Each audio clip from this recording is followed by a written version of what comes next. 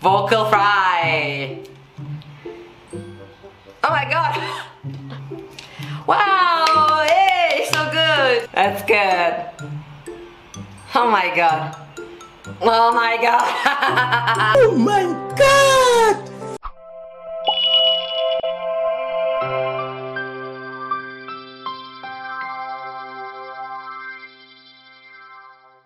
Ехали, давай, поехали, давай, поехали, поехали, поехали.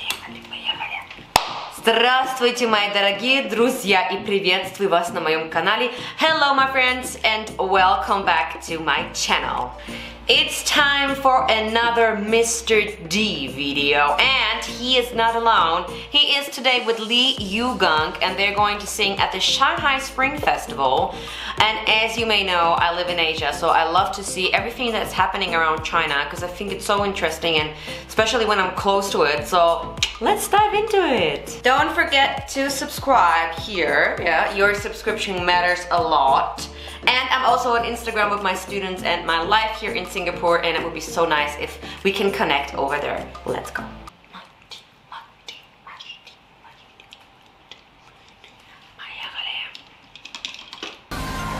有请李玉刚、李玛熙演绎《一带一路》上的燃情共鸣。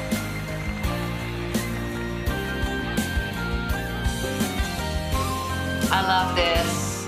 But this different sound, it's just Chinese traditional mixed pop, right? 那一年的花镜却旁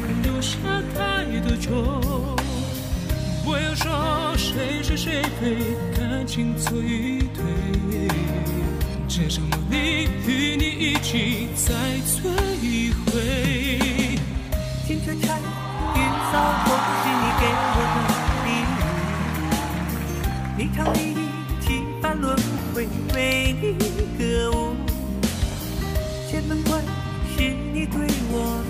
Yeah, so the first thing you can actually hear, it's quite interesting that they both performing at the same time because we can really see how different every artist is working, right?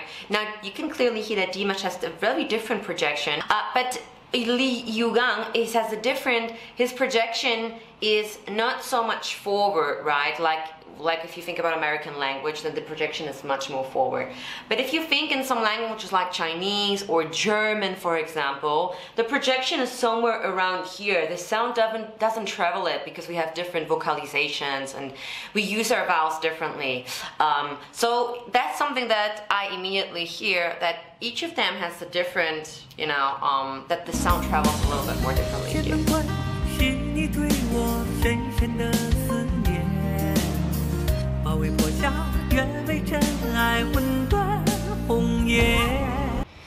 But beautiful, beautiful hat voice. Like this, this small little flip, you know, and this is something where some people struggle. Some people feel that they need to do a whole line in falsetto and then they feel it's so difficult to make this flip, this going backwards with chest and hat voice. But in that case, it's just beautiful.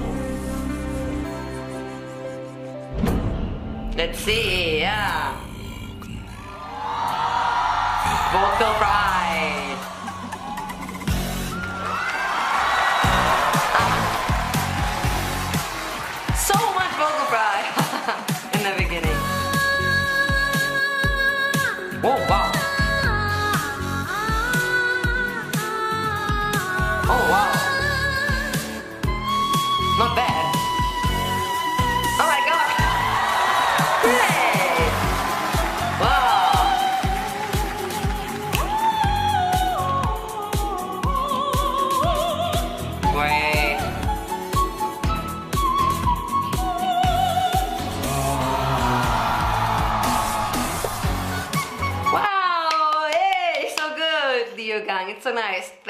Own Chinese Dimash there, right?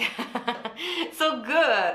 Um, it's so nice to see men doing actually that diva song, right? And this fixation with Farinelli, with men uh, singing this really high voices, it's just, this is something that is anchored in history. Watch my other Dimash videos. I have a big playlist of two years, and we speak about this Farinelli term uh, that came from the 18th century and how um, that was a big, how he was a big hit, Farinelli. Um, let's continue.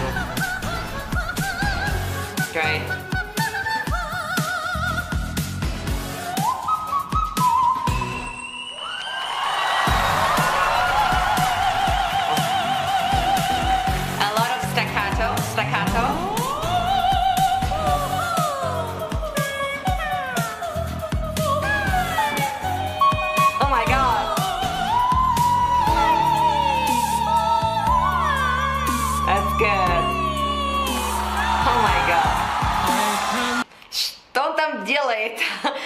This this this sounds on the back. They irritated me a bit.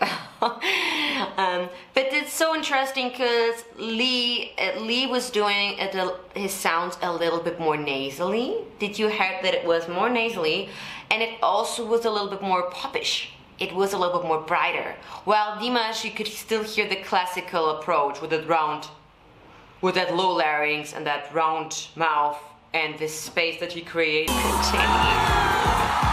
看就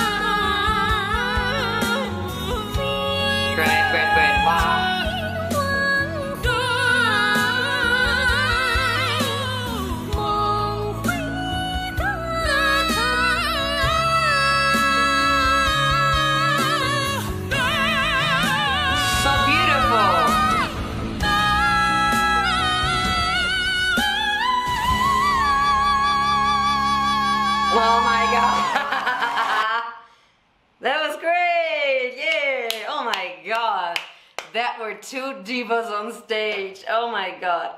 That was such a really well and interesting duet, right?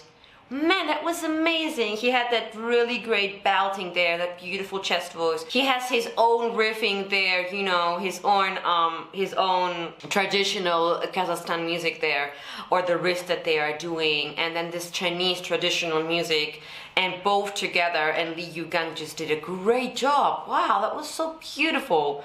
And I really, I honestly like Chinese music. I think that it has something calming and it has something about, you know, it just shows so much history within the music.